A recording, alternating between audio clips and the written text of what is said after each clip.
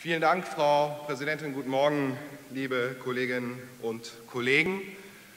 Wir haben ein ernstes Thema, über das wir sprechen müssen, nämlich die Situation des Extremismus in Nordrhein-Westfalen, der sich besorgniserregend entwickelt. Insgesamt im Vergleich zu 2014 28 Prozent mehr politisch motivierte Straftaten und wir erleben Zuwachs in allen Bereichen, im Rechtsextremismus, im Linksextremismus und im Islamismus. Und meine Damen und Herren, ich sage Ihnen ganz ehrlich, wo wir eine solche zunehmende Bedrohung hier haben, hätte ich erwartet, dass es dazu eine Unterrichtung der Landesregierung gibt. Die ist ausgeblieben. Ihnen waren die längst abgefrühstückten Berichte über die Wasserstraßen in Nordrhein-Westfalen offensichtlich wichtiger als der Zuwachs des Extremismus in Nordrhein-Westfalen. Fatales Signal, meine Damen und Herren. Stattdessen gab es nur eine Pressekonferenz des Innenministers. Aber, meine Damen und Herren, dieses Thema, der Extremismus und der Zuwachs, der gehört hier ins Plenum, weil wir alle davon betroffen sind und weil wir alle bedroht sind. Und die Bilanz des Verfassungsschutzberichtes zeigt ja, dass die innere Sicherheit auch in diesem Bereich in Nordrhein-Westfalen nicht in guter Ordnung ist. Und meine Damen und Herren, ich sage das ganz deutlich. Es wäre billig und es wäre unredlich, wenn wir allein dem Innenminister und dieser Landesregierung die Schuld dafür geben. Aber es ist ebenso billig und unredlich, so zu tun, als hätte der Innenminister mit dieser ganzen Entwicklung so gar nichts zu tun.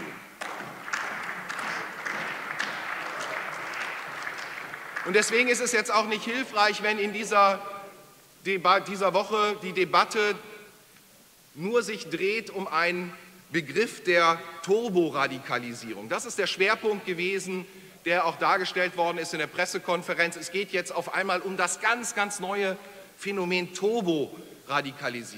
Ja, meine Damen und Herren, wir wissen, es gibt Wutbürger, die sich auch aufgrund der neuen Medien schneller radikalisieren. Es gibt auch Jugendliche, die in wenigen Monaten radikal werden. Aber es ist doch ein durchsichtiger Versuch, hier einen Begriff Turboradikalisierung in die Debatte zu werfen, um vom, und es als angeblich neues Phänomen darzustellen, um davon abzulenken, dass in anderen Bereichen der inneren Sicherheit versagt worden ist. Turboradikalisierung, meine Damen und Herren, die hat es immer gegeben, historisch, wir haben es erlebt in den 70ern bei der RAF, wir haben es auch Anfang der 90er erlebt bei der damaligen Asyldebatte. Und natürlich bringen die neuen Medien neue Herausforderungen, aber den öffentlichen Diskurs darauf zu reduzieren, das ist eine Nebelkerze und das lassen wir Ihnen hier nicht durchgehen, Herr Innenminister. Denn es ist ein erkennbares Muster, was wir erleben. Immer wenn die Sicherheitsarchitektur hier in Nordrhein-Westfalen versagt, gibt es bei Innenminister Jäger genau zwei Erklärungsmuster. Entweder sind die anderen schuld, vornehmlich unsere Polizistinnen und Polizisten, oder aber wir haben es mit einem ganz, ganz neuen Phänomen zu tun, auf das man ja noch gar nicht vorbereitet sein konnte. Das sind immer die typischen Erklärungsmuster. Das war bei den islamistischen Exzessen 2012 in Bonn so. Das war bei Hogesa so. Da habe ich im Innenausschuss am Donnerstag vorher noch gefragt, sind wir denn auf diese Mischung vorbereitet, die da kommt, auf diese neue Konstellation mit Hooligans und Rechtsextremisten und Hardcore-Neonazis. Ja, wir sind gut vorbereitet, wurde uns dann gesagt.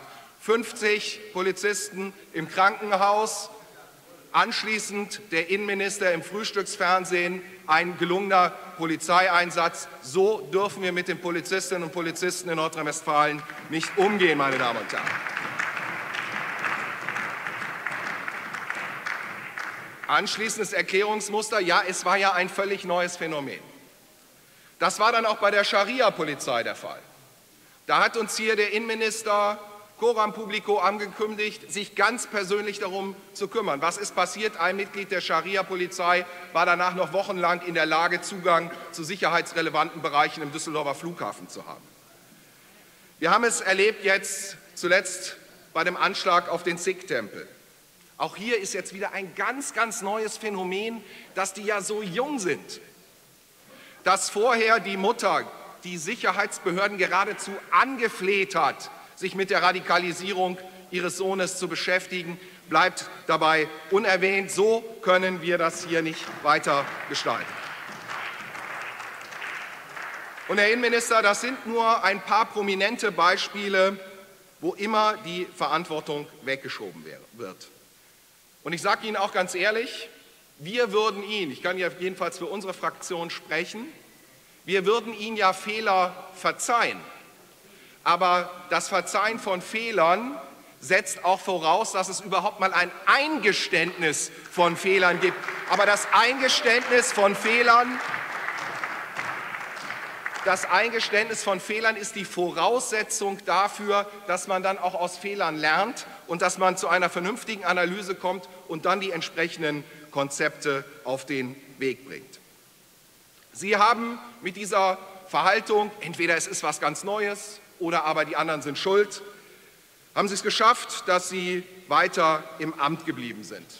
Aber Sie haben das Vertrauen Ihrer eigenen Polizei bis aufs Letzte verspielt und Sie haben das Vertrauen der Bürgerinnen und Bürger in diesem Land verspielt und leisten damit den Populisten leider Gottes Aufschub.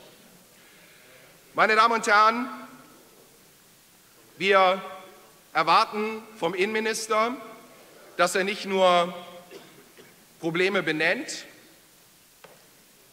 und mit den üblichen Erklärungsmustern kommt, sondern wir wollen hier und heute, Sie haben dazu gleich die Gelegenheit, dass Sie uns konkret sagen, wie Sie diesem aufwachsenden Extremismus begegnen, wie Sie Flüchtlinge schützen, wie Sie die Bedrohung des Islamismus zurückdrängen wollen, wie Sie auch den Links Extremismus, gerade Braunkohletagebau erleben wir das ja auch, wie Mitarbeiter und Polizisten mit Zwillen beschossen werden, wie sie das in den Griff kriegen wollen. Wir sind gespannt und ich bin sehr, sehr erwartungsgespannt auf das, was Sie hier ausführen werden. Und ich bitte Sie dann auch mal konkret zu werden und sich nicht wieder nur herauszureden. Vielen Dank.